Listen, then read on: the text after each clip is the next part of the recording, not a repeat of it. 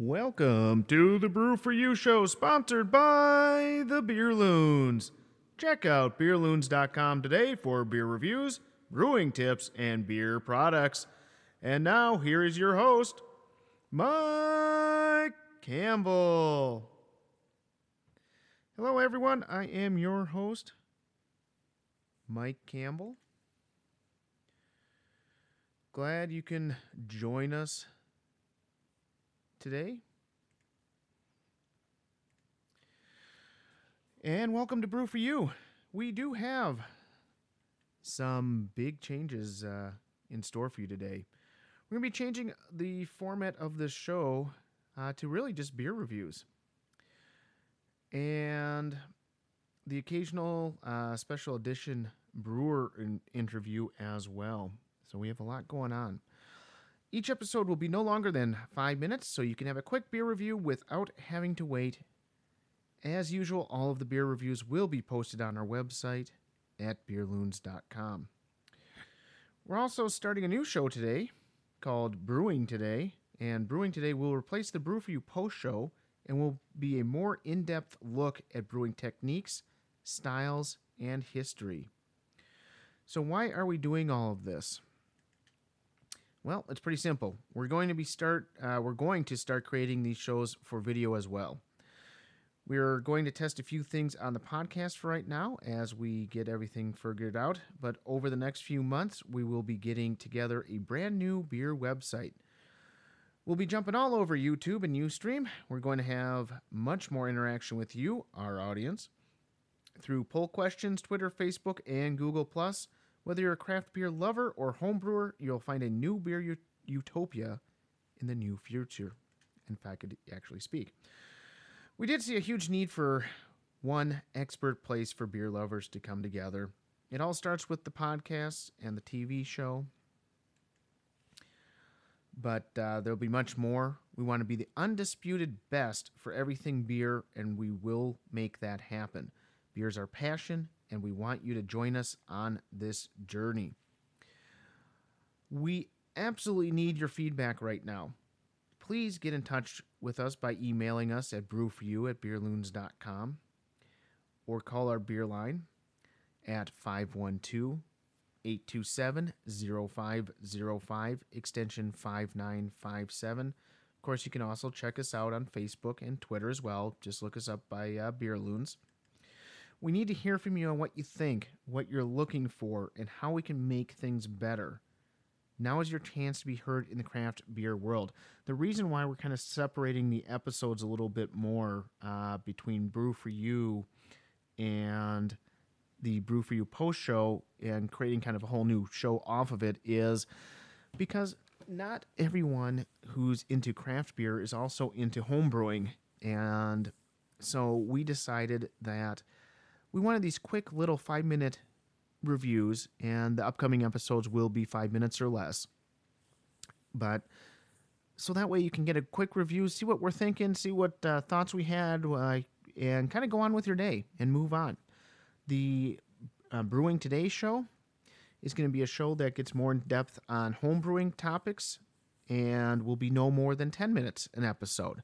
So, all this uh, allows us to have short podcasts that you can download and put on your phone or iPod or whatever you've got.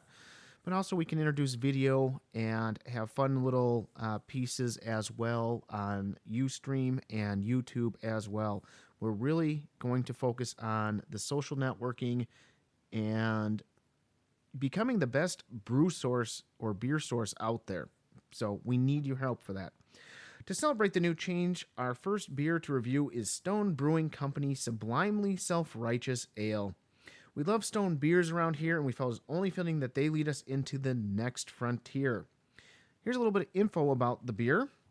Uh, if you're not familiar, Stone Brewing Company is from Escondido, California. This beer is an American black ale with its first release date in January of 2009. It is 8.7% alcohol by volume with 90 IUs. Uh, they use hops that are Chinook, Simcoe, and Amarillo. And this is off of their website, considered a work of art by the brewers at Stone Brewing Company, hence the name. You do want to serve this beer ideally between 40 and 45 degrees Fahrenheit And the best glass to use is either a pint, mug, or oversized wine glass. So we're going to go ahead and review this real quick with you. First and foremost, the beer pours into the glass with black color. That's why it's a black uh, ale. It has a brown head that is very thick with fine bubble and is slow fading. You also get a little bit of lacing on the side of the glass, which I enjoy. In the aroma, you're hit with strong notes of citrus, some floral and piney notes as well. The hops are very dominant uh, in the aroma of this beer. You might also pick up a little hint of uh, dark chocolate as well, and a bit of the uh, alcohol warmth. And like I mentioned before, you uh, will also have the uh, reviews uh, on our blog as well at beerloons.com. So if you don't catch everything, feel free to check that out, and we will have the reviews uh, listed there as well. So let's go ahead and give this a try.